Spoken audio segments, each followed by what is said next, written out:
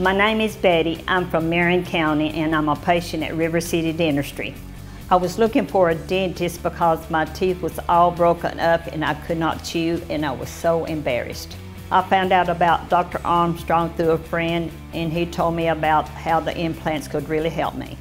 Since I have been here, I have been able to taste and chew my food and I'm so happy with my smile.